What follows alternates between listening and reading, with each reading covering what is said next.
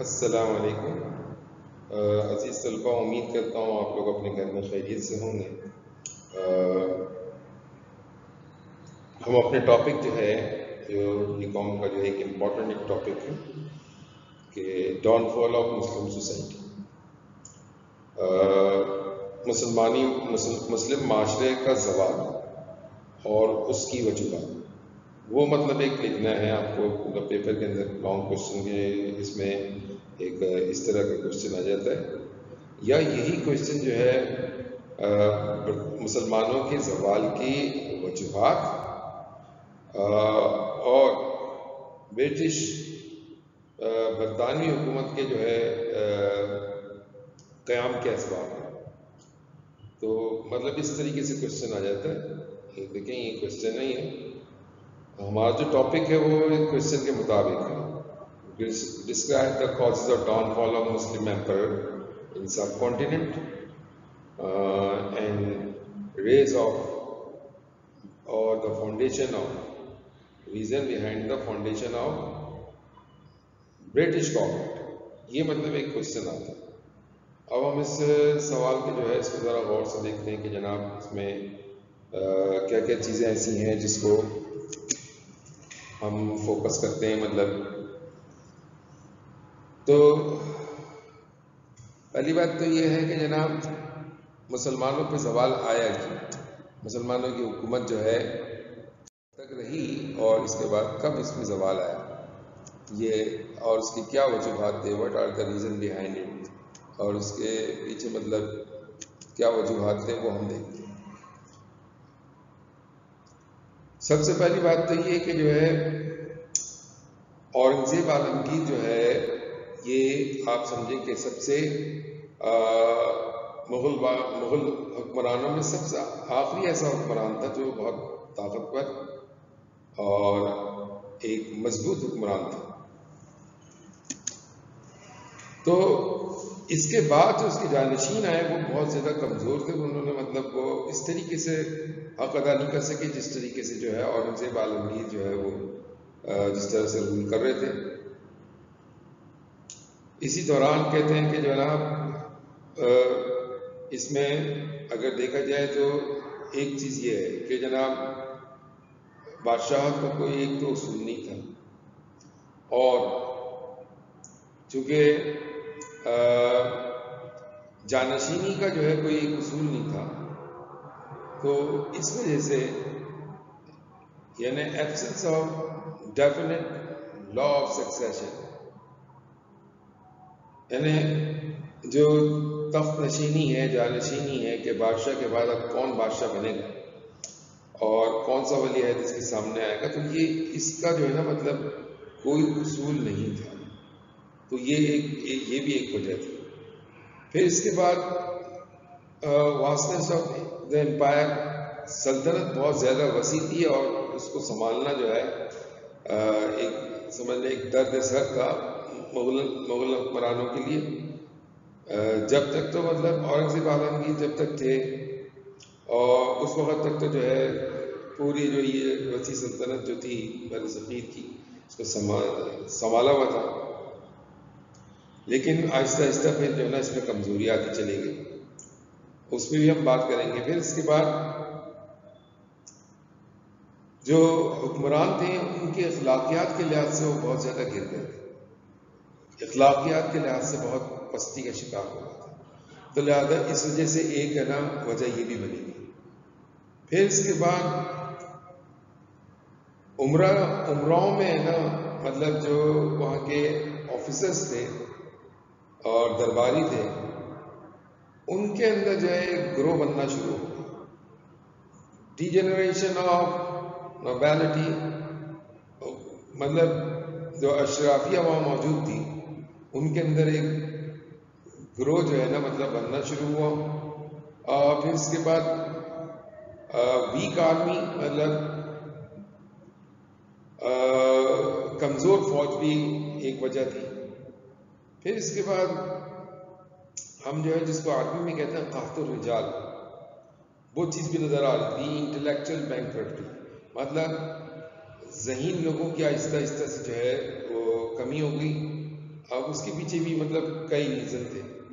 फिर इसके बाद मुगल रूलर्स जो थे, वो खुद समझ लें कि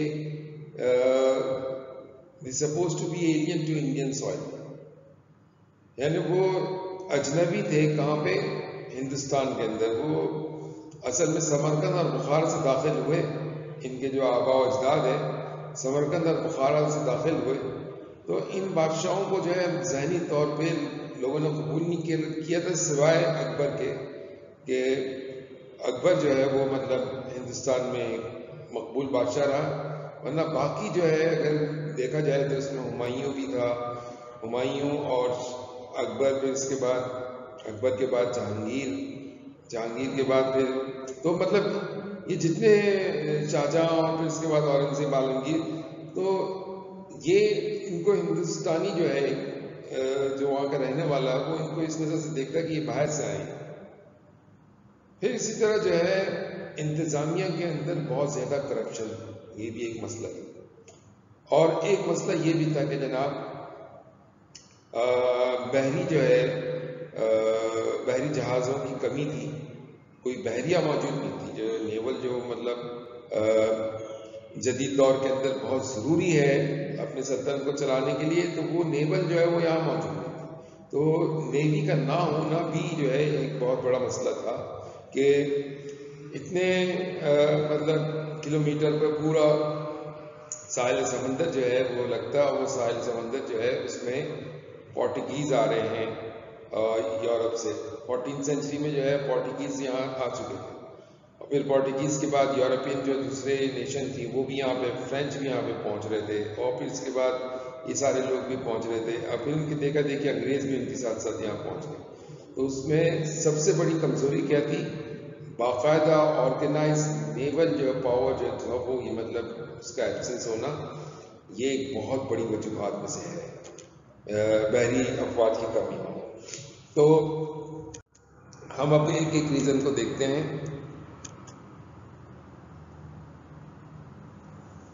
हम औरंगज़ेब आलमगीर की बात कर लेते हैं। 1707 में जो है, आप ये समझे कि औरंगज़ेब आलमगीर का इंतकाल हो गया। और उनके इंतकाल के बाद जो है, उनके जानशीन, उनके जो सक्सेसर थे, वो सही तरीके से इंतज़ाम नहीं कर सके और निज़ाम निज़ाम सल्तनत को चला नहीं सके। वो और उनकी देखते ही देखते जो है मतलब आ, उसमें सल्तनत के अंदर उनकी जो है वो आप ये समझे कि जो है किंगशिप होता है जो रूल वो होता है हिंदुस्तान का जो मतलब सल्तनत जो थी वही इस वजह से बहुत ज़्यादा कमज़ोर हो गई कि कोई भी जानशीन जो था वो अहल नहीं था ना अहल हो गया। और वो सल्तनत के मामले में दिलचस्पी लेने के बजाय ऐश व इशरत की महफिलें सजने लगी वहाँ पर और इसका नतीजा ये निकला कि जो मरक, मरकज़ी हुकूमत से जो इलाके आज़ाद होते हैं कैपिटल जो दहली है उससे जो भी आज़ाद होते वो अपनी रियासतें बना लेते हैं। जैसा बंगाल के अंदर बहादुर अली वर्दी खान जो थे उन्होंने हुकूमत बना ली। सादत अली खान ने जो है आ, अपनी ओत के अंदर जो है अपनी हुकूमत बना ली। फिर इसी तरह आसिफ जहाँ जो है थे वो निज़ामुल मुल्क को उन्होंने संभाल लिया। निज़ामुल मुल्क और आसिफ जहाँ जो है दक्कन के हिस्से पे हुक्मरान बन बन बैठे। सिखों ने जो है और इन्होंने अपने पंजाब पे अपनी हुकूमत कायम कर ली। और मैसूर के अंदर मराठा जो थे ना उनकी जो है आ, मतलब साजिशें बढ़ने लगी। तो ये एक बहुत बड़ी वजह थी। फिर इसके बाद मुस्लिम माशरा अखलाकी तौर पे बहुत ज़्यादा गिरावट का शिकार हो गया था कि जनाब जो औसाफ मुसलमानों के अंदर जो ईमान वाली जो बात थी, वो इसमें थी नहीं, वो स्प्रिट जो है वो ख़त्म होती चली गई। तो एक वजह फिर ये भी था। फिर इसके बाद जो है, मुख्तलिफ़ किस्म की तहरीकों ने भी बहुत सख्त नुकसान पहुँचाया। जैसे भक्ति तहरीक जो है, इसने जो है बाकायदा नारा लगाना शुरू किया कि जनाब राम और रहीम कुरान और कुरान काबा और काची सब एक है। तो इससे भी बड़ा नुकसान हुआ क्योंकि जो है, ये सारे मजाहब को बरहक मानते थे और इनके नज़दीक सारे मजाहब बरहक थे। और जनाब इसकी वजह से ये नुकसान मतलब सामने आया कि औरंगज़ेब आलमगीर जो कि कट्टर किस्म का मजहबी आदमी था, उसके हाथों जो है दारा शकों का जो कत्ल हुआ अपने भाई का ये कहते हैं कि जनाब इसी वजह से हुआ। दीन इलाही जो है, जो लेके आया था अकबर अकबर बादशाह ने, उसका जो है मतलब इसके फॉलोवर्स भी यहाँ पर पैदा हो रहे थे। फिर महदी तहरीक के नाम से सैयद मोहम्मद जौनपुरी नाम के एक शख्स थे, उन्होंने इमाम महदी का दावा कर दिया। और हुकूमत ने उसके बारे में मतलब कुछ मतलब न छानबीन की, ना मतलब वो, और ये अहमदाबाद के जो जो इलाका है, इसके अंदर ही तेज़ी से फैलता चला गया। ये सारे काम इस वजह से हुए क्योंकि जनाब जानशीन जो है जनाब, वो अहल नहीं थे, वो किसी तौर पे जो है मतलब वो नहीं थे। और औरंगज़ेब आलमगीर ने जो चीज़ झगड़ के रखी थी, वो चीज़ आहिस्ता आहिस्ता ख़त्म होती चली गई। उम्र जो है मतलब जो ऑफिसर्स थे, इखलाकी तौर पर पस्ती का शिकार होते चले। तो ये वजूहत थी जिसकी वजह से जो है आप ये समझो कि बहुत ज़्यादा मतलब पस्ती के तरफ़ जो है मुगलिया सल्तनत चली गई। फिर इसके अलावा अगर हम देखते हैं कि जनाब ये औरंगज़ेब आलमगीर जो है, उनके इंतकाल के बाद और क्या क्या मसाइल थे तो जनाब उसके कमज़ोर नशीन जो है, उनकी वजह से तो मसला था ही। फिर एक मसला और भी था, जनाब कोई कानून ऐसा मौजूद नहीं था कि जो ये बताया कि जनाब हिंदुस्तान का अगला बादशाह कौन? जानशीनी का जो है मतलब एक जो मुस्तकिल कानून था, वो उसकी अदम मौजूदगी एक बहुत बड़ा मसला था ये। There was no definite law of primogeniture और फिर इसके बाद अगर उसका हल क्या था? उसका हल से war war of succession was the only means to decide the successor of an emperor मतलब एक तो जानशीनी का जो है, कोई मुस्तकिल कानून ना होना और फिर इन वलीहतों का आपस में लड़ना। अब आप, बिल्कुल आपको इनकी हिस्ट्री के अंदर ये मिल जाएगा, मुगलों, मुगल के दौर में और मुगल के दौर से पहले भी कि जानशीनी का चूँकि कोई एक उसूल नहीं था तो लिहाजा ये आपस में लड़ते थे। तो दारा शकोर जो है और आलमगीर की जो लड़ाई है वो मशहूर ये आपस में इनकी लड़ाई हुई। और इससे पहले भी आपस में मुख्तलिफ़ किस्म की लड़ाइयाँ हुई। अच्छा इन लड़ाइयों में एक और नुकसान क्या हो गया? एक और नुकसान ये हुआ कि जो ऑफिसर्स थे, वो भी दो ग्रोह के अंदर बढ़ जाते तो उनके भी ग्रोहबंदी हो जाती है। ग्रोहबंदी जो है, वो मतलब डिफरेंट ग्रुप्स जो उनके बन जाते हैं या उन लोग ग्रुपिंग कर लेते हैं एक दूसरे के खिलाफ। तो उससे जो है मतलब हिंदुस्तान जैसी बड़ी सल्तनत को कौन संभाले, इसके बजाय आपस में ही लड़ते रह जाते और आपस में उनके ग्रोह बन जाते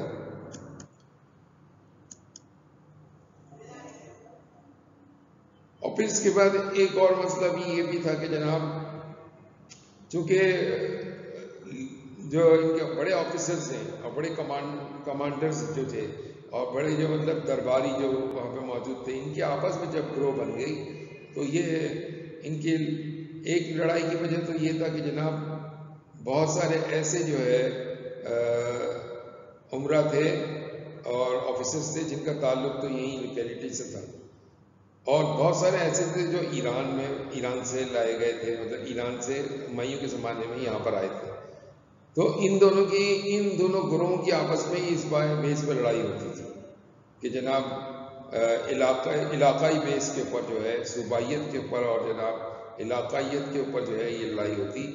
रेसिज्म आप समझें एक तरह से।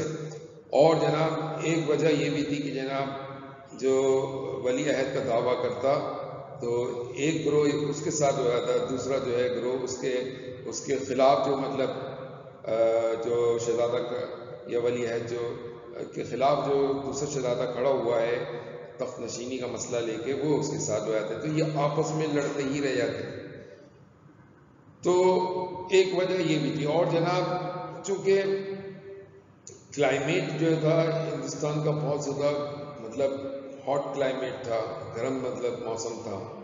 लेकिन ये गर्मी भी रास्ते में इतनी बड़ी रुकावट नहीं थी फौज के लेकिन फौज के रा, रास्ते की सबसे बड़ी रुकावट ये थी कि जनाब उनकी तनख्वाहें उनको नहीं मिल। रही ये मुग़ल जो है ये इतने अयाश हो गए थे कि ये जो है अपने फ़ौज को जो है मतलब जो उनकी तनख्वाहें देना और उनको जो पैसे देना उसके लिए इनके पास पैसे ही नहीं थे।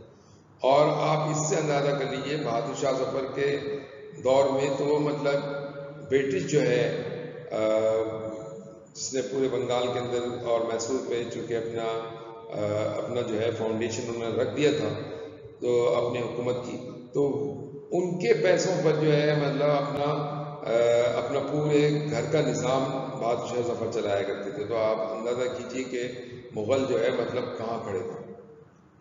और ये बहादुर शाह ज़फ़र वो पहले बादशाह नहीं थी कि जो ब्रिटिश हुकूमत से जो है वो वजीफ़ा ले रहे थे। इससे पहले भी मतलब यही सूरत हाल हो गई तो इससे आप अंदाज़ा करें कि मुग़ल सल्तनत जो है उनके उनके ख़जाने जो है वो खाली हो गए थे।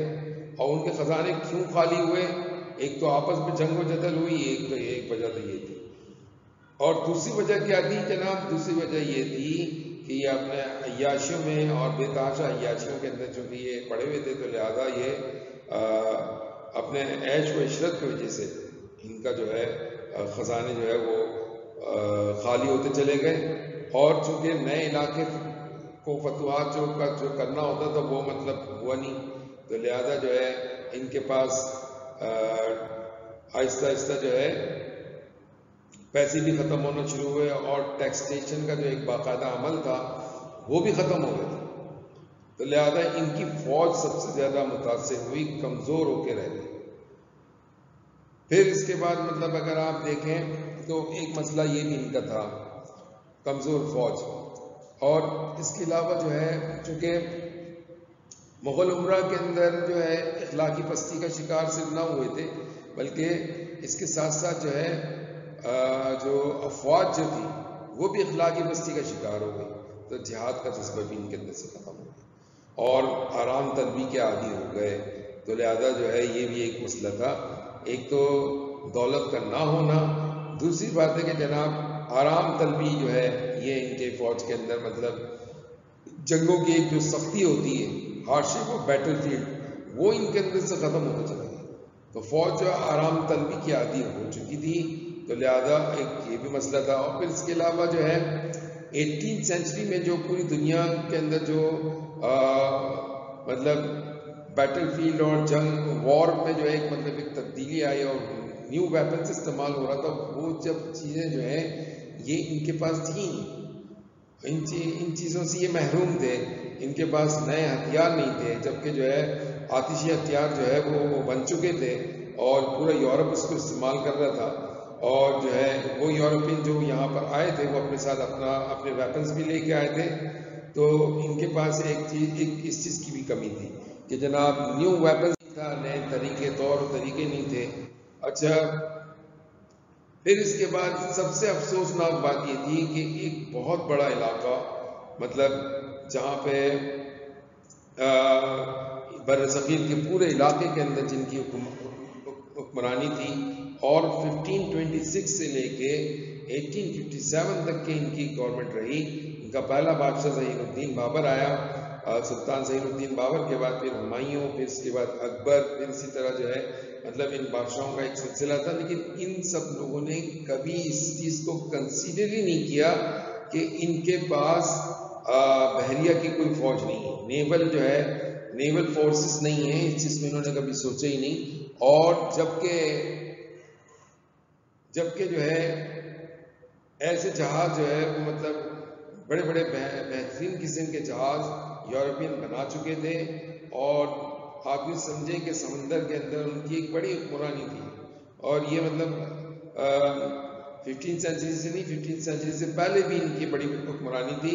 ऐसे ये जहाज़ ये बना चुके थे कि जब ये हिंदुस्तान के सरजमीन पे उतरे पोर्टुगीज़ वो पहले लोग थे जो मतलब नेविगेशन के ज़रिए से यहाँ पर पहुँचे। तो उन्होंने ये पुर्तगाली जो यूरोपियन लोग थे, ये स्पेन के बराबर में कंट्री था, पुर्तगाल। तो ये जो है, जब यहाँ पे पोर्टुगीज़ पहुँचे तो फैक्टर फोर्टीन सेंचुरी में तो उनके पास ऐसे मज़बूत जहाज़ थे कि जब उनको लड़ना होता तो वो मतलब ज़मीन पे आते और खुशकी पे आके लड़ते और जब वो महसूस करते हैं कि वो शिकस्त खा रहे तो फ़ौरन जो है ना अपने जहाज़ों में बैठ के वापस चले और वो उनका ये दावा था कि जहाज़ में हम जो है साल भर तक के रह सकते हैं। और उनके ऐसे जहाज़ थे। और जबकि हिंदुस्तान के में जो है, ना कोई जहाज़ उन्होंने बनाए ना किसी जहाज़ के बारे में इन्होंने सोचा, ना ही मतलब इन सब चीज़ों का जो है ना मतलब कोई तस्वुर किया। तालीम से ये दूर रहे।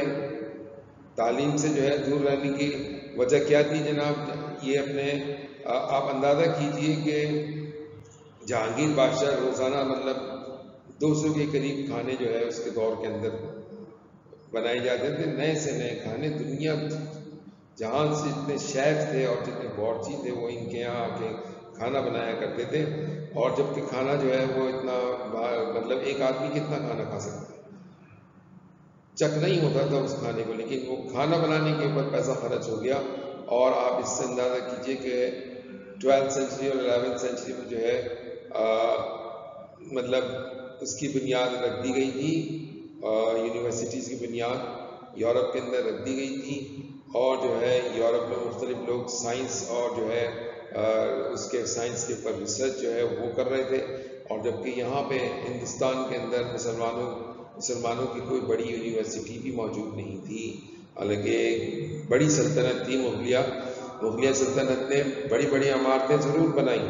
मुगलिया सल्तनत ने जो है उनके दौर में आ, आ, खाने बेहतरीन किस्म के खाने बने। आप ये देखिए जो हमारा जो कौमी खाना है निहारी ये मतलब जहांगीर के ज़माने में ये मतलब पहली दफ़ा ये पेश किया गया।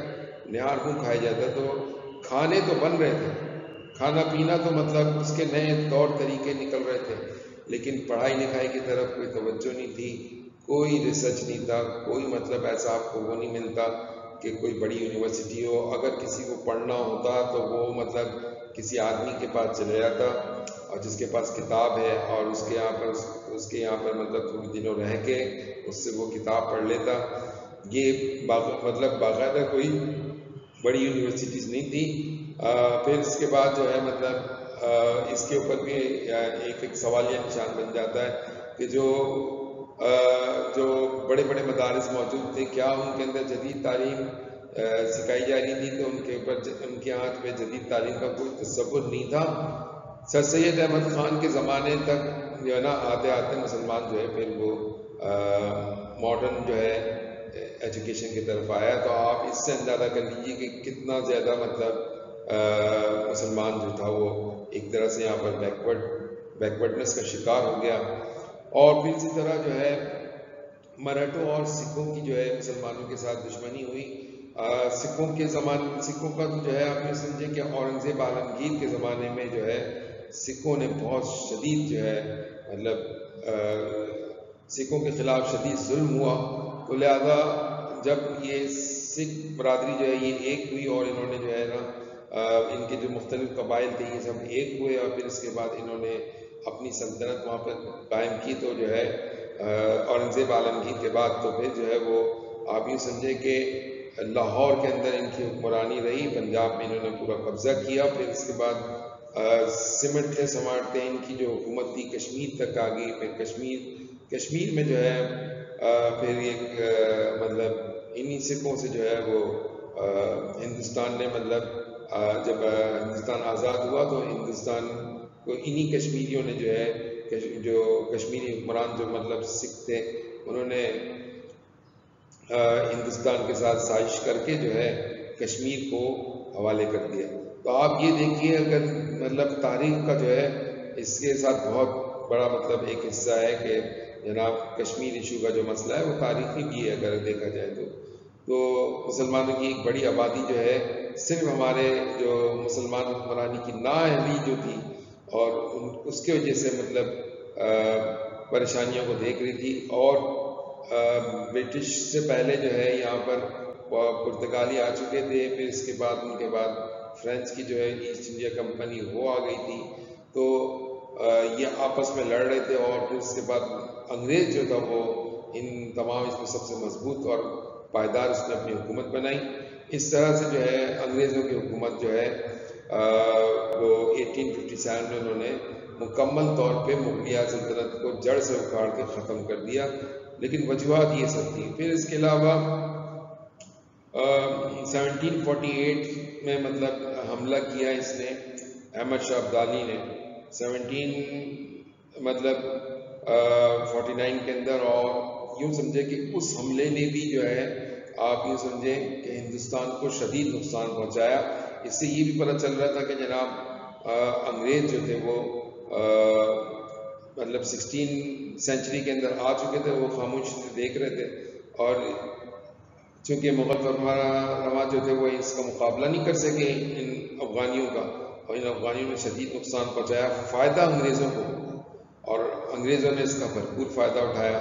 फिर इसी तरह जो है, एक लड़ाई जो है वो आपके पूरा मतलब सिखों के ख़िलाफ़ उन्होंने भी की। मुजाहिदीन तहरीक, जो थी तहरीक मुजाहिदीन जो थे, वो सैयद अहमद बरेली साहब जो थे, वो भी मतलब उन्होंने भी एक लड़ाई की और जिसमें शाह वली रहमत के पोता भी, पोते भी शामिल थे, शाह इस्माइल शहीद। तो उस लड़ाई से भी जो है मतलब नतीजा क्या निकला, उससे भी जो है मुसलमान और ज़्यादा कमज़ोर होता चला गया और ब्रिटिश ने जो है ब्रिटिश गवर्नमेंट जो थी, वो अक्सर इलाकों पे कब्जा कर चुकी थी और वो मतलब इंतज़ार में थी कि कब इस लड़ाई का फैसला होता है।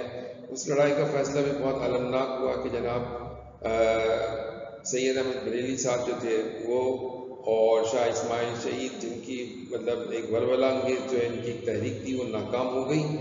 और वो तहरीक नाकाम होके और यूँ समझे कि बल आखिर को इन इलाकों के पे जो है अंग्रेज़ों ने कब्ज़ा कर लिया और वो तहरीक इस वजह से नाकाम हुई क्योंकि जो है सैयद अहमद जो ये चाहते थे कि किसी तरह भी जो है इस्लाम नाफिज कर दिया जाए और सरहद जो सुबह सरहद जो था वो उन्होंने इनका साथ नहीं दिया, शुरू में तो साथ दिया, लेकिन बाद में फिर गद्दारी हो गई और जो है उनको जो है उनके हवाले कर दिया, सिखों के रहम करम पे छोड़ दिया और फिर एक लड़ाई बालाकोट के अंदर, आखिरी लड़ाई हुई और उस लड़ाई के बाद जो है, सैयद अहमद बरेली और शाह इस्माइल शहीद दोनों शहीद हो गए और उनके, उनकी शहादत के बाद आप ये समझें कि अंग्रेज़ जो था वो उसने अपनी सल्तनत को वसी करना शुरू किया। उसने मतलब डॉक्टराइन ऑफ़ लॉ के नाम से कानून बनाया, उसमें उन्होंने ये मतलब उसूल रखा कि अगर कोई भी रियासत है, अगर उसका जो है वाली, अगर उसका जानशीन जो है वली है अगर वो वाकई उसकी औलाद है तो तो वो मतलब एनेक्सेशन नहीं होगा।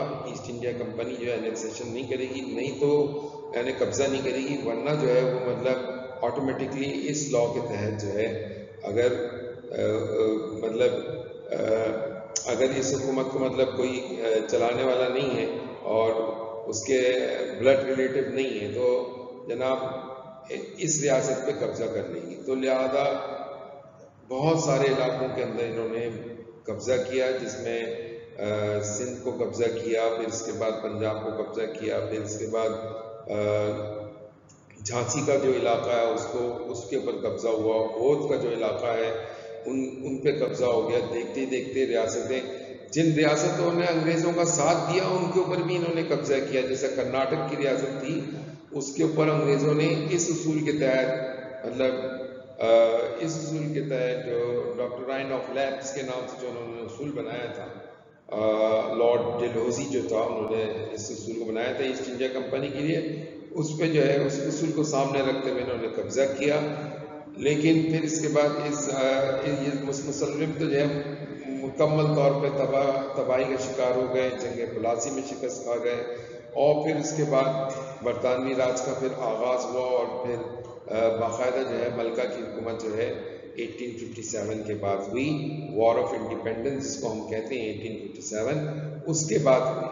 तो अज़ीज़ तलबा मतलब आपको इतना तो कम अज़ कम लिखना पड़ेगा क्योंकि ये आपका 20 नंबर का क्वेश्चन है। तो लिहाजा आपने इतनी जो है मतलब कम अज़ कम मोर देन टेन हेडिंग्स आप की हो। और उसको आप डिटेल में भी लिखें उसमें वाक़ात जो है, उसको जो है आप लिखिए। अंग्रेज़ों की जो तोसी पसंदी है, वहाँ तक को आप लेके आइए। एनेक्सेशन ऑफ़ ब्रिटिश गवर्नमेंट तक क्या आप लेके आएँगे? तो मेरा ख्याल है आपकी ये सवाल जो है, हम जो इसको मतलब रिवाइज कर रहे हैं, ये सवाल एक अहम सवाल है और आपके ज़रूर समझ में आ गया होगा। अब आप मुझे इजाज़त दीजिए। अल्लाह निगहबान